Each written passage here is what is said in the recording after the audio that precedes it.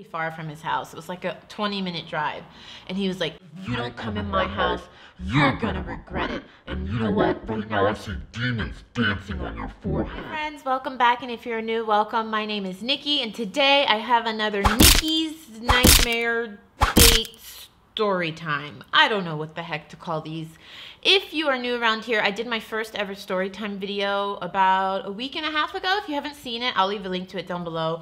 Warning, there are some flashes in the video because I edited that video on my laptop as opposed to my big editing computer. So if you can just deal with the flashes, it's like green flashes throughout the video. It's a really good, funny, kind of weird story. I'll leave a link to it down below. Let's jump into this one. I need to give this guy a fake name. Let us call him, I always want to say John, but that's so boring. He was Italian and African American, and I used to call him the Italian Stallion. So we'll just call him the Italian Stallion. So this was a very short dating romance. It was about two months that I was dating this guy. Two months. There were some warning signs that this man was not all there. I should have been more sane. I was very, very young when this story happened, so keep this in mind because there were signs that this guy was absolutely psycho. We'll get to that. I was very young, very naive, and I had just moved to Los Angeles and moved to Los Angeles and I was lonely. So let's just jump into it. So, been dating the Italian stallion for two months. There were signs that he was psycho. I will probably do those in the upcoming story time videos. So for one of our dates, we always used to have like really fun dates. It was really fun. It started as like a summer thing. I think it started literally in May and it was over by July. So for one of our dates, he was like, you know, he kept texting me throughout the week, emailing me. I really want to take you grocery shopping. That was one of the, his things that he liked to do. He's like, I want to cook for you. Let's. Go, I want to take you grocery shopping. We'll do it at my place. I'm like, okay, great, sure. So we go grocery shopping. We go to this grocery store in Los Angeles that's called Ralph's. Um, I think on the West Coast, their own on the East Coast, they're owned by the same people that own Safeway. Because I'm from the East Coast, so I know Safeway. If you know Safeway, it's Safeway, Ralph's, I think they're the same thing. So we go to this grocery store, and he's like, "Get whatever you want." And I wanted to make Italian food, so I was like getting all this stuff, organic cheeses when I used to eat cheese, and organic pastas. And this is before my food allergies. I remember. I think back to this like, oh my god, I ate all that stuff and I didn't get sick, but those days are gone. I can't eat any of that stuff anymore. So I'm like getting all this stuff. We get to the cash register and um, it was self checkout. You know, you scan it yourself. You guys have all seen that. And it came up to a lot. It was like, I think 200. No, actually, I think it was like 120 bucks, which was a lot. Back then, I never used to spend that much money on food. I was eating like pizza and chicken wings every night. I used to eat so bad. So we get to the cash register and he pulls out a card and I notice it's in um, a food stamp card, EBT card. If you don't, you guys know what food stamps are, but if you don't know, it's a government assistance program that allows you to purchase food using your electronic card. I think back in the day you would actually use like paper food stamps. So it's money you get from the government to pay for food for people who meet the income requirements. And so when I saw that he was paying with that, I promise you, I swear to you, the first thing that came to my mind, I thought, if this guy, I had no idea that he was receiving government assistance the two months we had been dating. Um, that'll be another story time. There were some clues now that I think about it because he did lie about like what he did. He said he was a writer for TV shows. Not true. He said he had his own place. I found out he had four roommates. Whole other story. So there were some signs that maybe he wasn't as financially stable as he said he was. So I thought, my thought when I saw that was if you're getting assistance from the government to buy food, I don't want to waste that money on me just making like some extravagant Italian like meal. He probably needs this, you know? He probably needs that money to feed himself throughout the month I don't want to spend 120 bucks of his money that he might need to feed himself. So that's literally what came to my mind. He saw this as a whole other thing, I guess. So he goes to pull it out. He's about to pay, and I'm like, oh, no, no. I say it very quietly. The grocery store was very packed. I didn't want to make a scene. I didn't want him to feel embarrassed. I just said, oh, um, you know what? It's okay. I'll, I'll pay for it. And he's like, this is what he says, guys. And I'm going to make this as dramatic as possible. I'll probably put a sound effect because this is how it was. He was like, Don't you dare touch that machine. Literally, like that. That's what he said. And his face looked like that. And I was like, okay, with all the other signs this guy has given me over the two months, he's lying about his income, lying about who he lives with, and now he's talking to me like it was almost like he became possessed. And I was like, silly me. Most women would have just been like, okay, whatever, and let it go. But I'm so persistent. I was like, no, no, it's okay. And I, I'm whispering to him, I'm like, no, no, it's okay.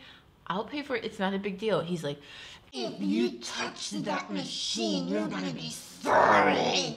And I was like, oh, fuck. Like, this guy, no. I was like, this is it. I don't know what's wrong with him. He's freaking out.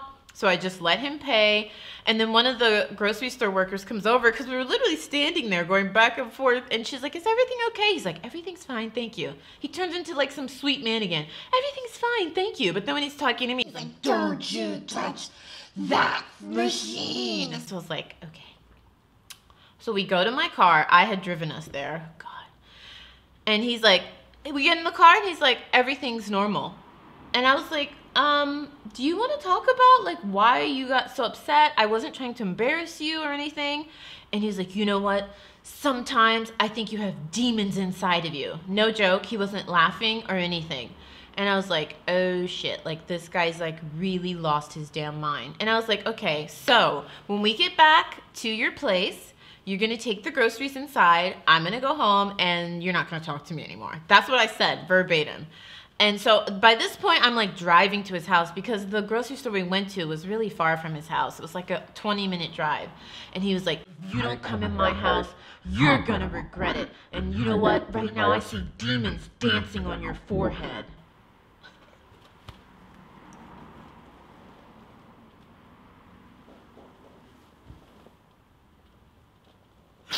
Okay this is many, many years later, so I can laugh now. But that night, I was really scared for my life because I was like, what the hell happened to this guy? There have been signs that he was not all mentally sane, but being the dumb, silly girl that I was, I still kept seeing him because he was fun, but I never thought he was psychotic.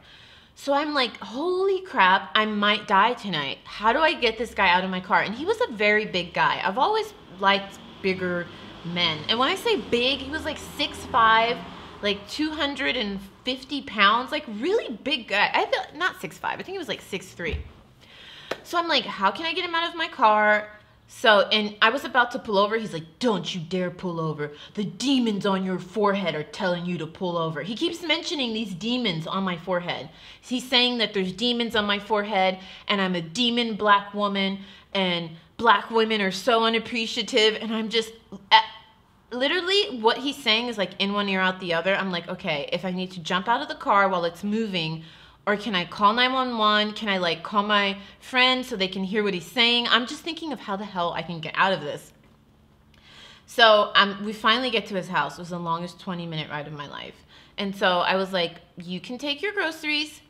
Um, thank you so much take care. I don't know what I said. I think it was something like, take care. Thank you so much. You can take your stuff. I just want to go home. And he's like, if you don't come in my house, you're going to be so sorry. And we can just forget all of this. It's the demons on your forehead talking. I'm not joking. He This is how he said it. Very serious. And I was really terrified. And I was like, this guy's having a psychotic break. So I was like, please get out of my car. Take your groceries or I'm gonna call 911. He's like, I'm not getting out of this car. You can get out of the car. I'm not getting out of the car. I was like, if you don't get out of the car, I'm going to call 911. So he doesn't get out of the car. I call 911 and it literally, I called them, let's say it's nine o'clock. By 9.20, they still weren't there. And he was just sitting there as I'm like, hello, I have an intruder in my car. He won't get out. 9.20 still didn't show up. So I was like, you know what? Screw this. I'm just going to leave my car. I'm going to leave the trunk open. He can take his groceries, and hopefully, when the cops get there, he'll get out. So that's what happened. I literally got out of my car. I was horrified. I was like, I can't stay here. I don't even care about my car. I just care about my life. So I got out of my car. I left the trunk open. I said, You can take your crap and just leave before the cops get here, but I'm walking and you better not follow me. So I got out and I started walking and he's like, You're a demon, bitch. You're a demon bitch. He just kept screaming that in, in his neighborhood in front of his apartment building. And I basically went around the corner to a 7 Eleven and just stood outside looking like a freaking hooker. Just st- standing at the 7 Eleven, calling the police, like, where are you? And they were like, oh, we finally sent a squad car there. Sorry, we're so late. I guess there was an accident or something. Oh, my boyfriend's coming home. Hold on. Sorry, I had to pause. The boyfriend and the dog came in. So that's basically the end of the story. Well, there's more to him. There's more before what I'm telling you, so I'll have to do that in another story time because there was some crazy crap that went on with him. But that's basically it. So the cops came and he had gone by then and he had left the groceries, which I really didn't want. Went back to my house and I was horrified because he knew where I lived and that was really scary to me. This is the guy that taught me the lesson. Remember in the last story time I told you, do not let men or anybody, men, women in your house until you know it's serious, you know that they're mentally sane. Because once someone knows where you live and things go wrong, he taught me that. Like, you just feel unsafe. And at the place that I lived at where he knew, I only had one more one more month left on that lease, thank God. But I was horrified. I had people like my girlfriend staying the night with me every night. He would send me horrible text messages saying nasty things like the demons are gonna get you, you're stupid, I'm done with black women, I can't believe this. He's half black by the way. It was just really awkward. That went on for a month and literally a month after that happened, he had he someone else was pregnant by him, which I feel so bad for that woman because she is stuck with that man for the rest of her life. I can't imagine. To this day, I still get emails from him saying, "Hey, how are you doing? Is everything okay? How are you loving LA?" Crazy. So, let me know your thoughts on that down below. That was one of the worst nights ever, one of the worst dates. I don't even know if that's a date. It was supposed to be a date. We were calling it a date because he was going to buy the food and cook it for me. That was horrible. And that just taught me to look at the warning signs, like do not ignore them. I was really young and I was really bad at noticing the warning signs because there were some blaring, like huge warning signs that I should have noticed to like cut this off with this guy after like two dates or three dates not even like two months. So I've got more story times, friends. This isn't even the worst. I have more. If you want to see more, let me know in the comments down below because I have more. All right, let's jump into some product reviews. First up from Kevyn Aucoin, we have the Molten Lip Color and I have the shade Violet Quartz. I showed this to you guys in my what is that video called? It just went up today. Oh, my colorful summer makeup look. So I'll insert some clips of me putting it on. But look at how gorgeous that is. Oh my God, I love it. It's like a light lavender lilac with really pretty small sparkles in it. I love it. I'll show you me applying it. I love this stuff. And it doesn't dry down super matte and it goes on very creamy and it's very moisturizing. I highly recommend this. And they say that you can use it to like do lip art if you want to because it's so creamy and easy to move around. This Kevyn Aucoin did send this to me for free. This isn't sponsored. I can do whatever I want with it. But I'm going to pick up the other colors because I really like this. And you guys know I love color. I mean, hello. I have... This is, by the way... Oh, what are they called? I did a full review video on this.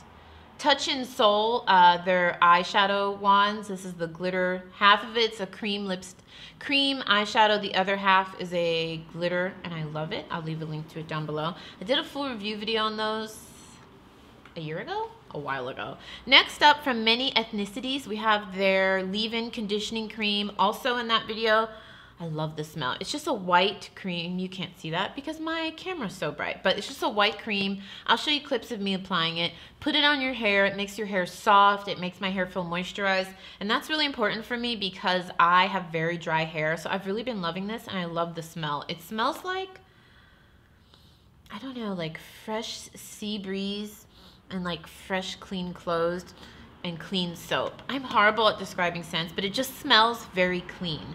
I like it a lot. It smells really good. There's a giveaway coming with this. I showed you guys that in my colorful makeup tutorial, so that'll be coming probably this weekend. I'm sticking to the schedule. How are we liking the schedule? If you haven't seen my channel announcement video, I'll leave a link to it down below, but I'm sticking to it. Fingers crossed. Second video in, I'm doing good. Hopefully I can keep up with it. All right, friends, that is it from me. If you enjoyed this date storytime video, let me know down below and I'll keep doing them because I have some more funny ones. Some of them are funny, but some of them like this are just scary. It's funny now, but then it was scary. If there was a lot of background noise, sorry. In Los Angeles, it's starting to warm up. And our place, I've told you guys this, it has floor to ceiling windows, so it gets very hot in here if we close everything. So I try to open it up, but then I try not to put the air on because if I put the air on, I feel like that's even more loud than you guys hearing like cars drive by. So that's it for me. Hopefully you enjoyed. Don't forget to subscribe, give this video a thumbs up, check out the videos on the screen, and I will see you soon. Ciao.